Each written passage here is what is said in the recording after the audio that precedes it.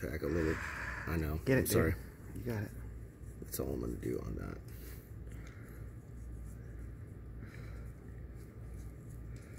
There. And then just clean this stuff like this. Did you have issues there before? This is the brunt of the issue right here. I had them. They went in and did a little manipulation, and on the second surgery.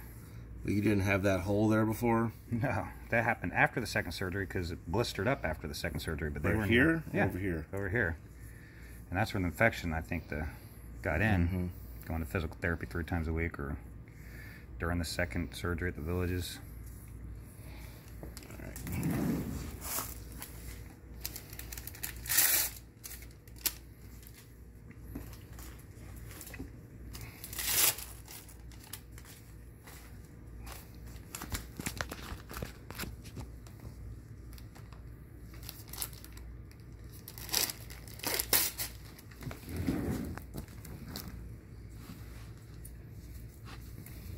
That'll cover that nicely. And then I'm just gonna fold this and put it there. Thank you.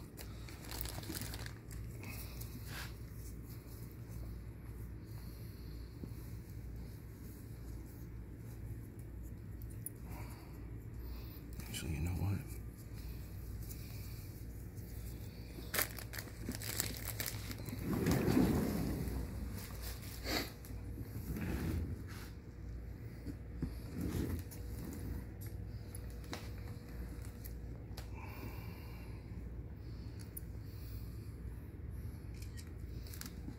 That way, if they ask questions, I can just send them a photo. Alright, sorry to have to do this again. There. Copper tack. Hmm? Second copper on you. Yeah.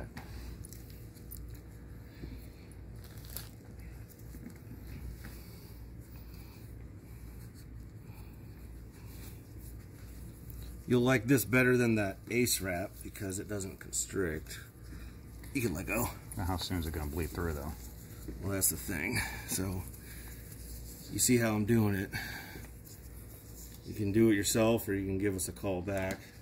You'll probably have to have us come out more than what we are doing now. But it's okay, I'll just call and get more orders. Hold this right here.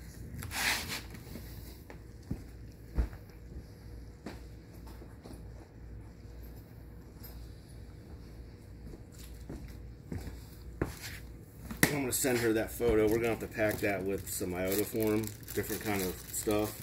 It's like a thin rope stuff. Comes in the. You've probably seen it before. Okay.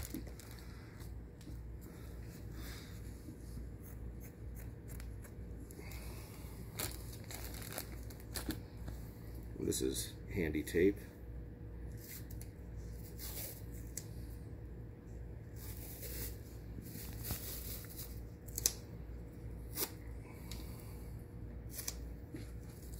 I got it. All right. Okay. We can save that for later.